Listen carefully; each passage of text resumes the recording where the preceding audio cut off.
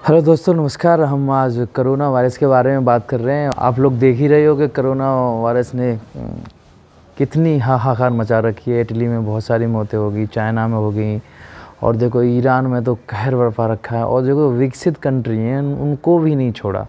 Italy को देखो, बहुत सारी मौतें हो गई अमेरिका को देखो, पैंसठ हज़ार कोरोना वायरस से लोग इन्फेक्टेड हो गए हैं, और एक हज़ार से ऊपर वहाँ की मौतें भी हो गई हैं।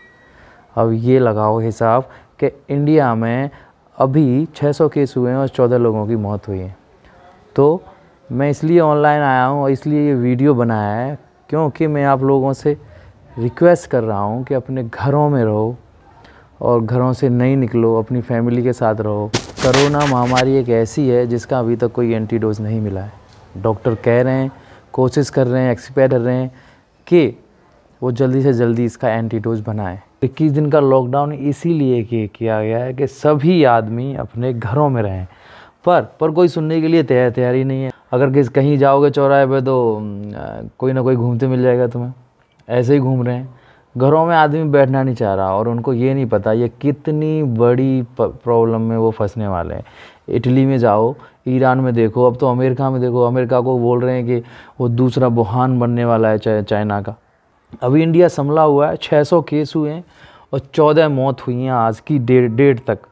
पर हमारे यहाँ के लोगों की समझ में ये नहीं आ रहा कि वो घर में बैठ जाएँ, अपने परिवार के साथ रहें और 21 दिन की बात है। ये एक ऐसी महामारी है कि इससे बच पाना मुश्किल है और दूसरी बात, इसका कोई अभी तक इलाज नहीं मिला है। एंटीडोज अभी तक नहीं मिला है। तो लोगों को सोचना चाहिए कि जिस चीज़ का अभी तक एंटीडोज नहीं मिला और तुमको कोई ये बीमारी हो गई कोरोना वायरस हो गया तो फिर आगे जाके क्या होगा? इसके लिए आपको जो घरों में बड़े हैं उनसे मैं रिक्वेस्ट करता हूँ अपने बच्चों को घरों में रखें खुद ना जाएँ बाहर अपनी फैमिली के टा, साथ टाइम स्पेंड करें क्योंकि बहुत अब आपके पास टाइम है अपनी फैमिली के साथ टाइम स्पेंड करने का। तो उसे करें। और ना कि तुम बाहर जाके घूमें फिरें। और गाँव वालों गाँव वगैरह में जाके देखो तो वो तो अभी भी लोग झुंड झुंड बना के बैठे हैं। तो उनको कब आएगा सम, समझ में पता नहीं। और बहुत सी जगह तो ये बात चल रही है ये मोदी की चाल है ये है। भाई टीवी देखो जाके टीवी में सब आ रहा है अमेरिका का भी आ रहा है ईरान का भी आ रहा है इटली का भी आ रहा है। हमारे न्यूज़ चैनल फेक थोड़ी हैं वो थोड़ी झूठ बोलेंगे सारे सारे न्यूज़ चैनल। देखो, जाके देखो, समझ में आएगा, तुम समझदार आदमी हो, फिर भी लोग ऐसी ऐसी बातें कर रहे हैं, अफवाह उड़ा रहे हैं। अपने घरों में रहें, अफवाहों पे ध्यान न दें, ये बहुत बड़े बहुत बड़ा संकट है। और अपने घरों में रहोगे, तभी संकट से दूर रह पाओगे।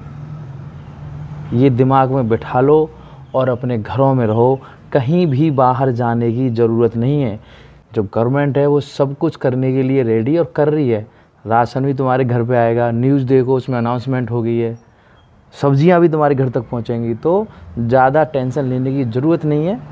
अगर ज़्यादा ही ज़रूरी काम है तो एक जाओ, एक आदमी चले जाओ, झुंड में मत जाओ, जल्दी करके अपने घर आ जाओ। कोई फ़र्क पड़ने वाला नहीं है। भीड़ में चलने की आदत पड़ी है तुमको, चुगली करने की आदत पड़ी है तुमको। पहले झंडा उठा के चुनाव की बातें करते थे, फिर सट्टा लगाने के लिए आईपीएल की बातें। और अब इस कोरोना वायरस की मीडिया वाले चिल्लाकर बोल रहे हैं, बाहर मत जाओ, लेकिन तुम्हें बाहर जाना है। मरो, सब मरो।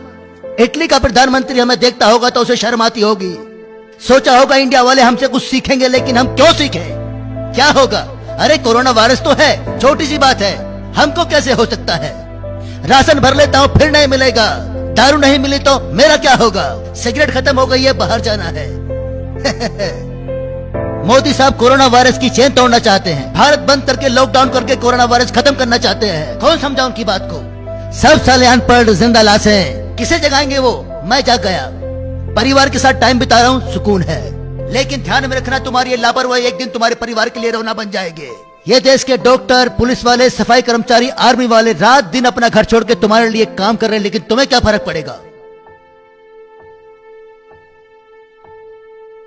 ये पिस्सू जैसा वायरस, कोविड 19 आने वाले कल में शायद अपने आप को हिंदुस्तान में कहीं ढूंढ नहीं पाएगा। एक बात भूल रहा है। अगर पूरा हिंदुस्तान एक साथ खड़ा हो जाए तो तुझे एक महीने में भागना पड़ेगा। लॉकडाउन और भारत बंद का समर्थन करके अपने घर पे बैठो, फिर देखो ये कैसे भागता है। लेकिन तुम ये काम करोगे नहीं, कोरोना जानता है। क्योंकि ये मुर्दों को देश है। वतन के लिए किसी को कोई हमदर्दी नहीं है। यहाँ पे वायरस फैलाना बहुत आसान है। मैं हिंदू, मैं मुसलमान, मैं सिख मैं शाइन बाग मैं कश्मीरी।